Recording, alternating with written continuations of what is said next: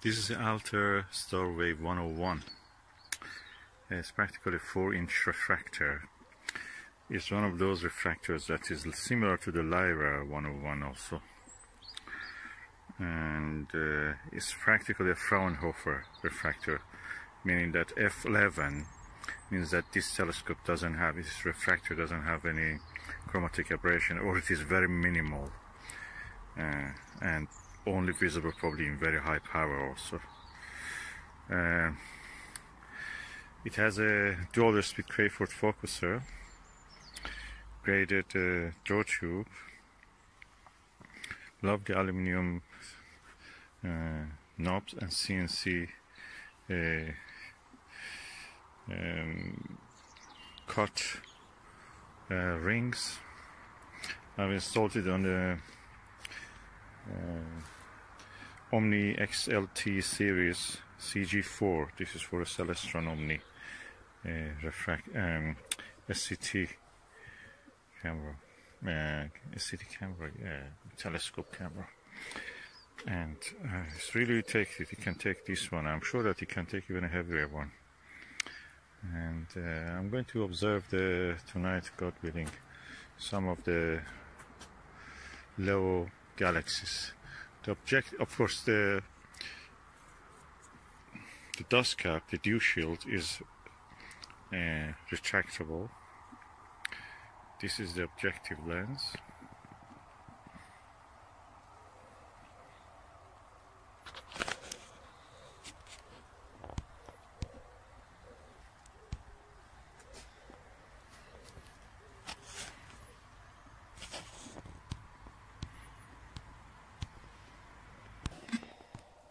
I've put the dew shield back. And it can come forward again. Just wanted to show you. One or two millimeter actually. Star wave. Achromatic. Doublet. SH0055 it's quite nice telescope actually. I have a Lyra version of this. This is red so it's a beautiful telescope to use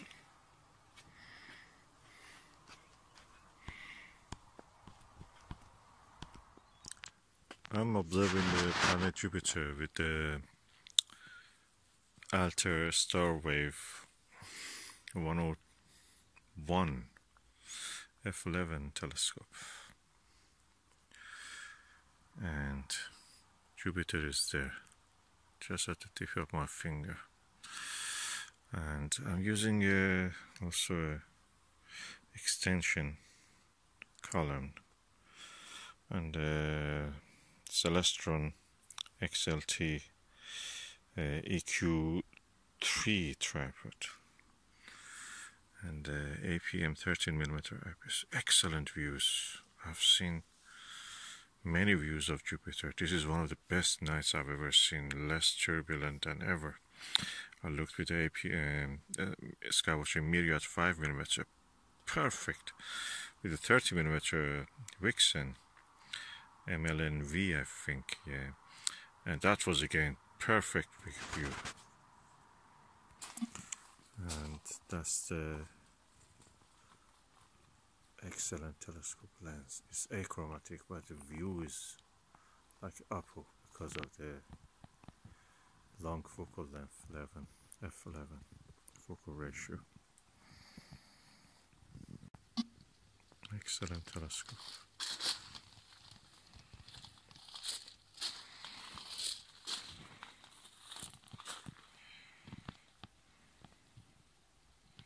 Can I say how much good is the view with the refractor, the classical refractor, Fraunhofer one. This is that. South equatorial belt, north equatorial belt of Jupiter. Very clear, very clear. And uh, yeah, some notches, some very dark uh, spots, oval shaped. I'm not sure this is the reddest spot, great reddest spot, but uh, I have to check if it is visible at this time. So beautiful, beautiful, excellent view. I can see five bands on the Jupiter. That's something. And a lot of numerous other ones in the no north, near the north and south poles. And amazing, the colors.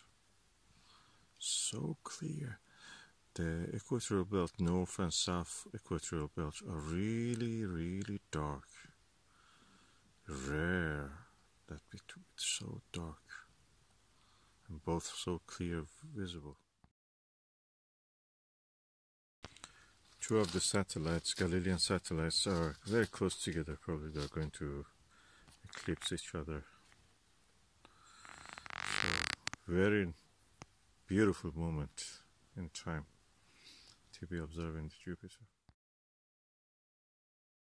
Oh, I'm looking at the Saturn now. Cassini division. Yeah, visible. I can notice it. It's not. It's not completely all the time visible, but you can see hints of it. You can see the uh, the outer ring after the Cassini division, Cassini gap, is actually it has a different color. It's a little bit kind of whitish blue, and you can see also in the disk of the Saturn some uh, some uh, coloring, kind of equatorial or temperate area, some coloring. It's a little darker than the uh, usual yellow color, yellow beige color of the disk of the Saturn.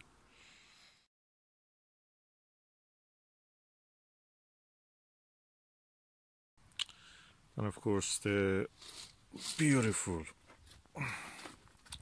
Titan, the satellite of largest satellite of Saturn and the largest one of the largest satellites in the whole solar system which is actually bigger than the planet Mercury. We have seen it. It has karstic feature that satellite has karstic feature things which resemble karst on the earth made of solid methane, methane and nitrogen, liquid methane and nitrogen, solid nitrogen. Amazing. Or water solid, the solid water. the rock is formed of that.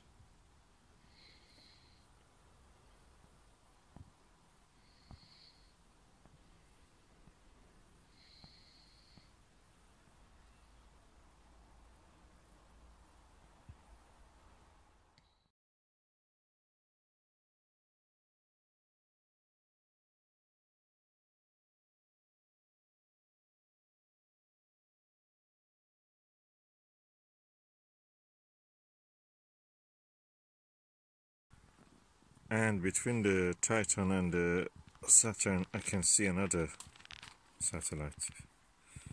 Uh, if it is not a star. By the way I'm using the Omegon um, dielectric coated 90 degree mirror 2 inch 90 degree mirror diagonal. And this is a click lock Beautiful.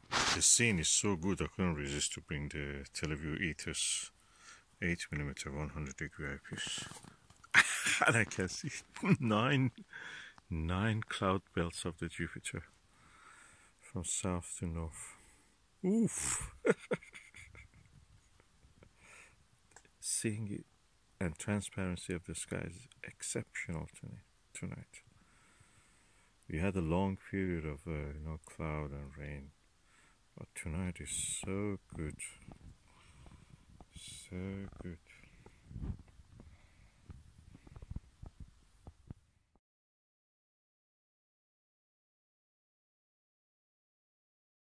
You can see so much clumps in the north and south equatorial belt. Festoons, they're different color, they're bluish gray uh, where actually the uh, the south and north equatorial belts are a kind of dark uh, red to brown color. Amazing.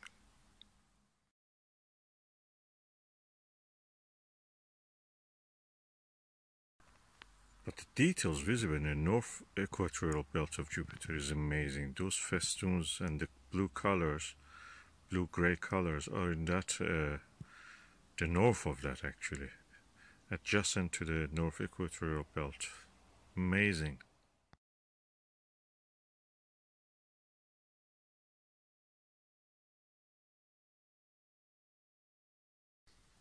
Ooh, wow, I can now see 11 equatorial belts.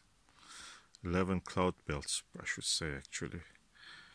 And uh, from the from the south pole to the, the temperate region of the Jupiter, temperate north. That's amazing. So much detail. Between the south equatorial belt and north equatorial belt, you can see at least three more belts. One of them is darker. And the two satellites, I think they were Io and Europa probably, most probably.